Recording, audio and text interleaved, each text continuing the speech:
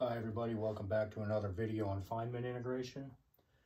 Today we're going to be uh, evaluating integral 0 to infinity of sine of ax over x dx. Now a lot of you have probably seen something similar. Um, it's a pretty common integral to evaluate on the internet, uh, 0 to infinity of sine x over x dx. But um, I thought I'd show this one and show that no matter what you put in for a, as long as it's not zero, you'll still get pi over 2. So anyway, uh, as per usual, we're going to create a function in terms of t. And this time we're going to, um, it's going to be a little bit different than, than normal. Um, what we'll do is we'll create our function of t to be 0 to infinity of sine ax over x, you know, same as same as our original integral. And then we're going to multiply by e to the negative xt. Um, and, and that's different than our previous two examples, where we just replaced something in there uh, with a with a new variable. So anyway, that's our function of t.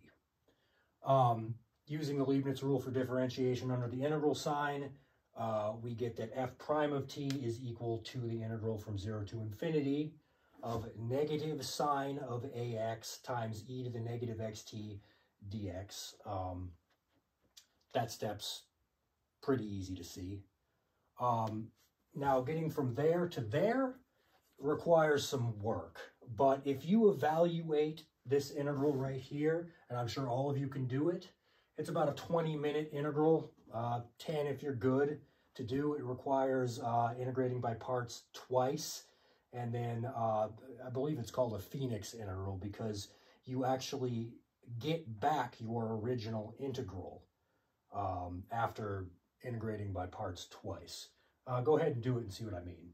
But anyway, the final result uh, of evaluating that integral is going to be this right here. Negative a over t squared plus a squared. But that's f prime of t. We want f of t. So integrating this right here with respect to t will give us f of t. If you integrate that, this is what you're going to get. Go ahead and do it yourselves if you want, but I promise that's that's correct. Uh, so we have f of t is equal to negative arctangent of t over a plus c. And I forgot to mention um, earlier in the video, but we will note that if you evaluate f at some point b, um, meaning you're plugging b in for t, and then you're letting b approach infinity, you're going to get zero for the whole integral. I hope you can see why, because e to the negative infinity is zero. Anything times zero is zero. The integral of zero is zero. Also, uh, we sh I should have noted earlier that if you evaluate our function of t at the point zero, you will get our original integral. And again, I hope you can see why, because e to the zero is one. So, where were we? I believe uh, we were on this step right here, moving on to the next one. So we're going to use our initial values right there and plug them into our function of t. Um, that's going to give us that 0 is equal to the limit as some value b approaches infinity of the negative arctangent of a b over a plus c. And that'll give us a uh, value for our constant of pi over 2. Um, I hope you can see why the, um, the arctangent of infinity is, uh, is pi over 2, but we have the negative arctangent, so it's negative pi over 2.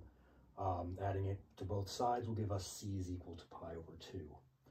So then we can arrive at a final expression for f of t, which will be f of t is equal to pi over 2 minus the arctangent of t over a.